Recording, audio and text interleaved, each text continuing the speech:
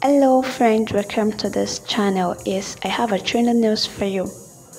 Oyo State Governor Seyi Makinde has announced a 25% reduction in school fees for students of Ladoke Akintola University of Technology, Lautech, Ogbomosho.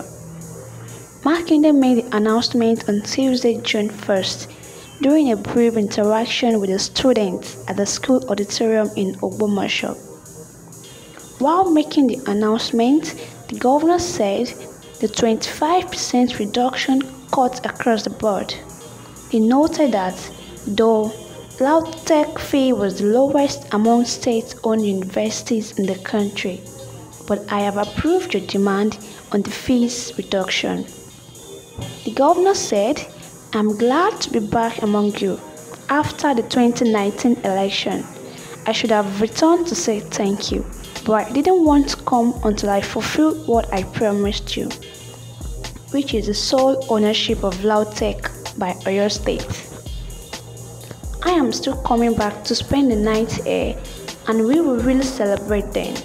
But I can leave you with a parting gift for today. Let me tell you, Lautech fee is still the lowest in the southwest. Having said that, I will reduce your school fees across board whether indigenous or non-indigenous. Even for new students, there will be a reduction of 25% across the board. Makinde, who also spoke at the inauguration of high dependency units of the Lautech Teaching Hospital, said his administration will build a benefiting flyover in Ogbomosho. Also promised to re-engage 170 workers of the teaching hospital who were relieved of their employment by the previous administration, saying his government would pay them five months' salary arrears.